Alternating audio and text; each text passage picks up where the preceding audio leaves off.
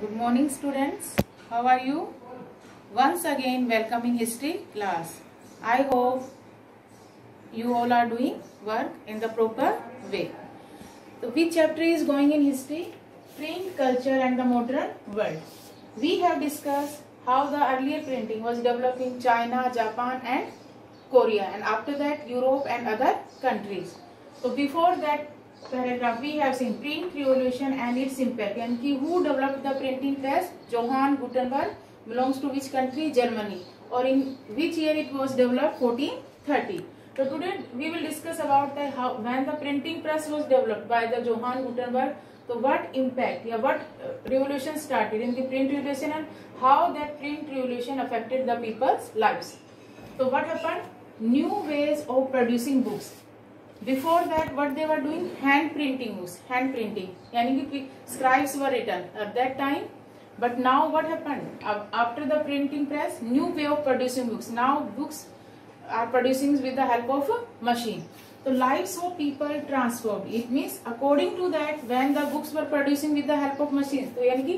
that lives yani that totally changed the lives of the people how as information and knowledge were easily available how now what happened now people can gather all the informations and knowledge easily because now books were available easily opened up new way of thinking and looking at things ab isse kya change hua log apne hisab se sochne lage ki what is right and what is wrong with with us and what is happening and looking at things aur cheezon ko apne nazariye se dekhne lage ki kya cheez hamare liye sahi ho sakti hai aur kya गलत हो सकते हैं क्योंकि अब उनके ideas क्या हो गए बुक्स पढ़ने से ओपन अब हर विचार को वो अपने हिसाब से सोचने लगे with the coming of printing press reading public emerge यानी कि वह प्रिंटिंग प्रेस के तो what happen new reading public emerge यानी कि एक नया वर्ग पैदा हुआ पढ़ने के लिए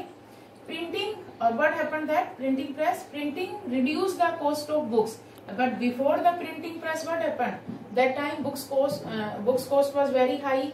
and time consuming also but now with the help of printing press we have cost reduce the cost of books time also save and labor at that time who has written the manuscript mainly scribes were written thus more number of books were printed now with the help of printing press they produce more and more books earlier reading was restricted to elites elites mean only kings we can say that being a rich people especially only rich people can read the books but and common people were in oral culture oral culture मतलब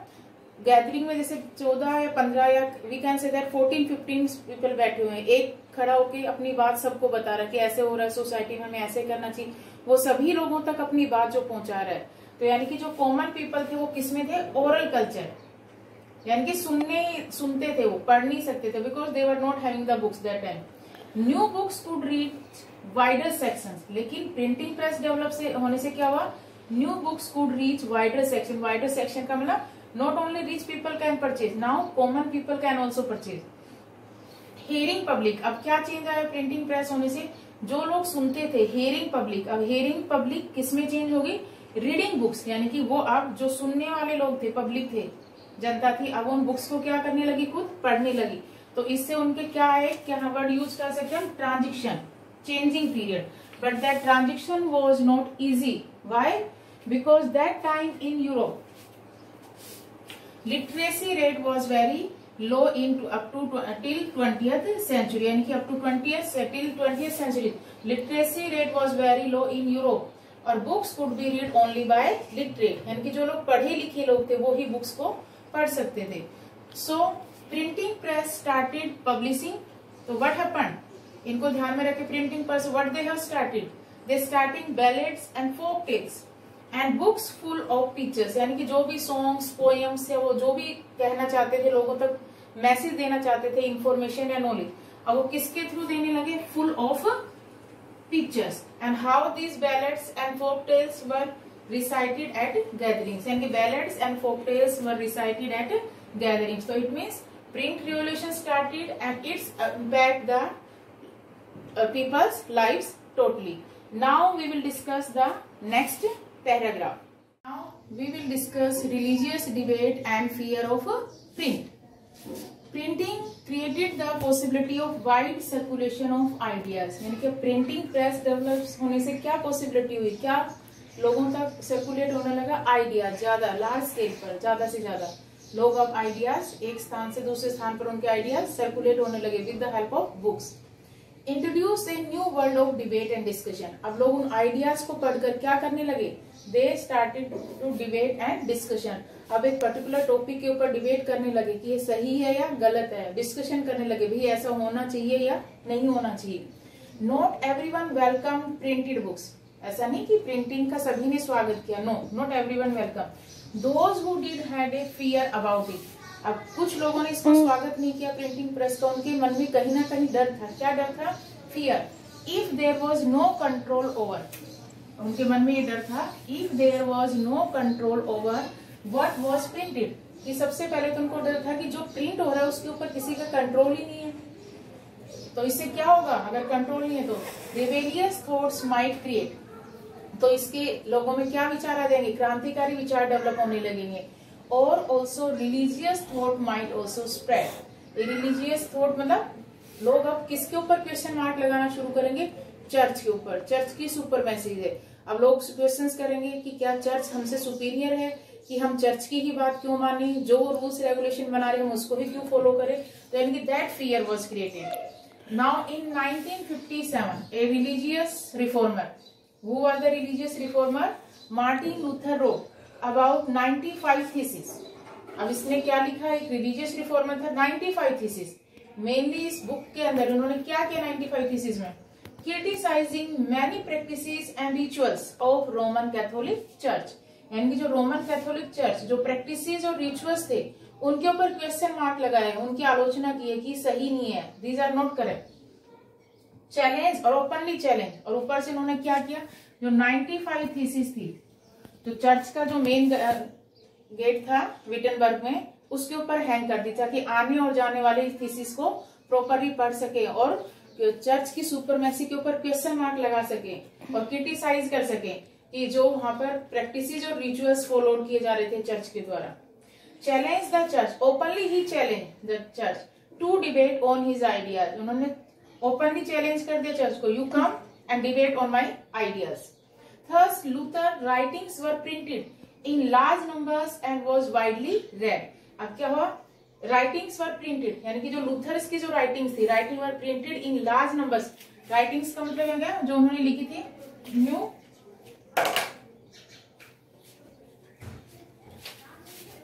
new testament new New Testament. Or how many copies sold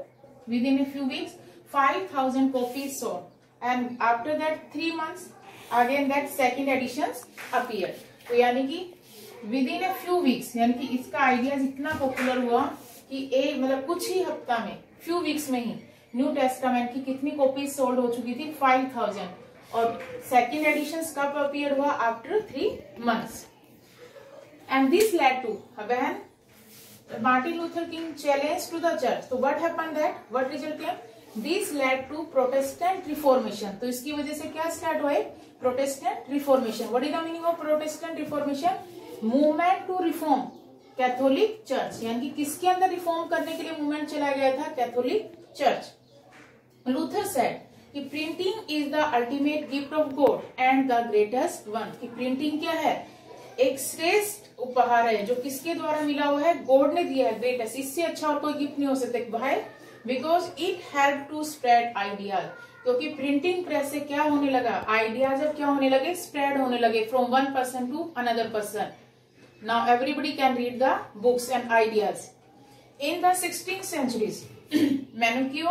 यानी कि miller miller मतलब farmer in Italy began to read also books and one day he read bible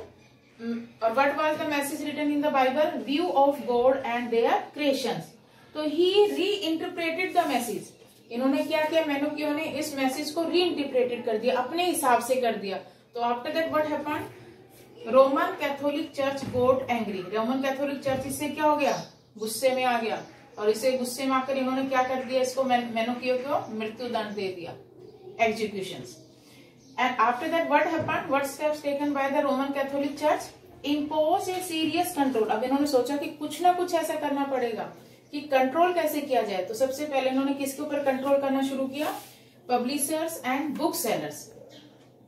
and index of prohibited books from 1558 यानी कि from 1558 से जो भी books के ऊपर हम जो रोक लगा रहे हैं प्रोहिबिटेड कर रहे हैं पाबंदी लगा रहे हैं उनका इंडेक्स बनाना शुरू कर दिया और they maintain a register they started to begin a register यानी इसके लिए इन्होंने क्या बनाना शुरू कर दिया रजिस्टर कि कौन सी बुक को हमने प्रोहिबिटेड किया है और कौन से ईयर से बनाना शुरू किया इन्होंने 1558 से ताकि किसके ऊपर कंट्रोल हो सके इसे पब्लिशर्स और बुक सेलर को यानी क्या वो ही बुक पब्लिश होंगी जो वो चाहेंगे उनके अकॉर्डिंग प्रोहिबिटेड कर दी उन बुक्स को पब्लिशर्स या बुक सेलर जब पब्लिशिंग होंगी तो बुक सेलर्स कहाँ से सेल करेंगे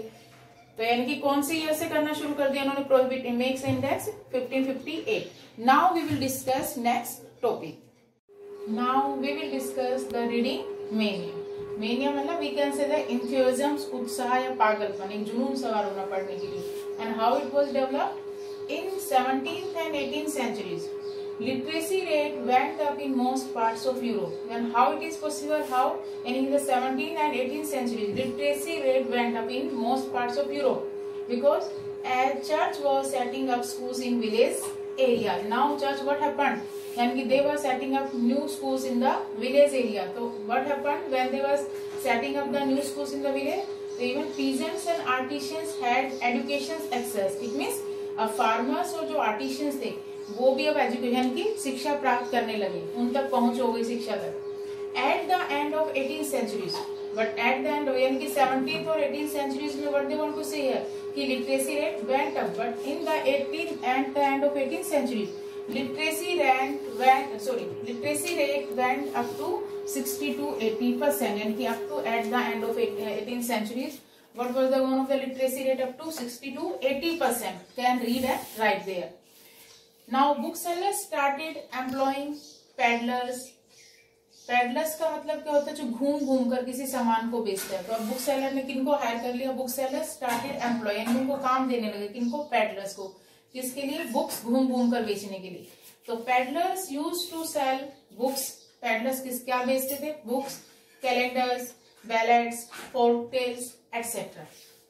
in England penny chapbooks England में क्या फेम कौन सी बुक फेमस थी